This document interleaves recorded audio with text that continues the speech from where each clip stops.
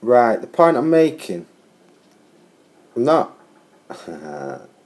yeah, it doesn't seem. Right, look, I don't mind people coming from abroad living in England, but the point I'm making is neither does the Conservative Party. Right? Because they factored it in, haven't they? They've worked out that on their predictions the economy will grow 0.5% by blah blah blah, you see. Yeah, I'll read it. An annual cap on new arrivals would be announced, with a figure based on the number of people who left Britain to move overseas. Overall, net immigration would be kept in the tens of thousands rather than the current rate of hundreds of thousands. Saying he opposed a rise in immigration, which would take the population over 70 million, Mr Cameron said that limits needed to be imposed to ensure public services did not become overwhelmed. He said, in a country like Britain, you're going to have large numbers of people going and living abroad every year and working abroad, and also large numbers of people coming in. It seems to me what matters is the net figure. In the, in the last decade, net immigration in some years has been sort of 200,000, so implying a 2 million increase over a decade, which I think is too much. Right. We would like to see net immigration in tens of thousands rather than hundreds of thousands. I don't think that's unrealistic. That's the sort of figure it was in the 90s. And I think we should see that again. Mr Cameron was responding to the warning by George Carey, the Archbishop of Canterbury. it just gets more and more bizarre, doesn't it? The Archbishop of Canterbury, that he was a bloody druid, isn't he? That an increase in the population to 70 million would be intolerable and put people's uh, put Britain's traditions of hospitality under strain. The Tory leader said that he would put his concerns about immigration in a different way, adding, I'm in favour of immigration. We've benefited from immigration, but I think that uh, the pressures, particularly on our public services, have been very great. I think we should be focusing on the pressure on our public services, on health and education and housing, reducing immigration levels uh, seen under the last Conservative government would mean around 50,000 more arrivals than departures a year. In recent years, the Tories have shied away from putting the issue of immigration at the centre of the party's election campaigning for fear of appearing as the nasty party. But Conservative chiefs are said to feel that voters are now keen to hear more about limiting the numbers arriving from overseas.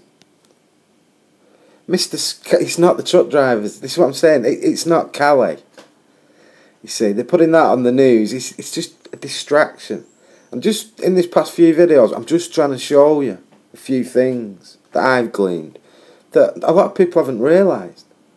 But it's all in their own stuff. Right?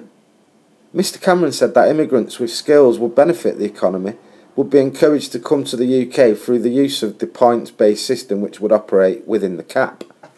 He added, We'll do that each year because part of this is to reflect our economic needs. It should be clear annual figure that people should see because I think a point system without a limit doesn't make much sense. But we should be trying to capture the benefit of immigration for our economy. I repeat, but we should be trying to capture the benefit of immigration for our economy. Britain has got a massive competition advantage. Great universities, great colleges, the English language. We should be attracting the best students from India and China and Brazil the countries of the future to come and study here, then to go home, but to want to do business with Britain for their lives, whatever. Instead, our system currently seems a lot of people come uh, do endless courses and are actually working here rather than being a proper student visa situation.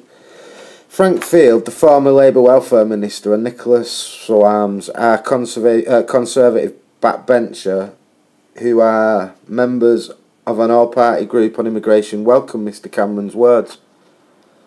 In joint statement, they said we welcome this statement uh, for the conservative from the Conservatives and hope the government will follow suit. That both carry, carry manifestos, commitments, blah blah blah, keeping the population below 70 million. Right, and here's the real deal. Because I'm just saying this is all bullshit. Because someone has put a bit of truth out here, haven't they? And I'm going to read it to you. Right, Britain is going to have 300,000 more immigrants. Here's why David Cameron should be pleased. There's a fascinating paragraph buried in the Office for Budget Responsibilities, Economic and Fiscal Outlook. The assessment of the economy it publishes alongside the budget.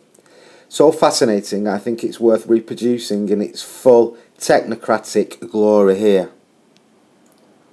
Net mag. I just find it comical. You know, it's crazy. Net migration in the year to September 2014 rose to 298,000, up from 210,000 in the year of September 2013.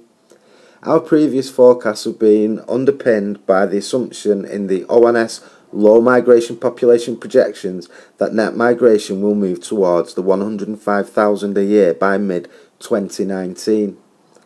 A reduction over time seems consistent with the international environment and with the government's declared efforts to reduce it, but in light of recent evidence, it no longer seems central to assume it will decline so steeply.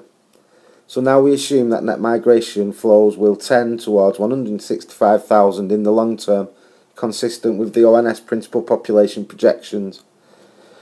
Relative to our December forecast, this raises potential output output growth by 0.5%, and that's what you want to look at. That's that's that's that's what this is about. 0.5% increase growth, right, over the forecast period via 16 plus population growth, right? So immigration and everything what's going on is it's the one, isn't it? This is what it's all about. In other words, Britain is going to have more immigrants, perhaps as many as 300,000 more over the next five years, and as a result, our economy is going. Let me read that. And as a result, our economy is going grow faster. No one call me for my right. with all that impl- with all that that implies for the public finances and the rest. So, in other words, Britain is going to have more immigrants, perhaps as many as 30,000 more over the next five years, and as a result, our economy is going to grow faster, with all that implies for the public finances and the rest. That rather suggests that David Cameron shouldn't be too sad about missing his promise to cut net immigration to tens of thousands, because it's all lies.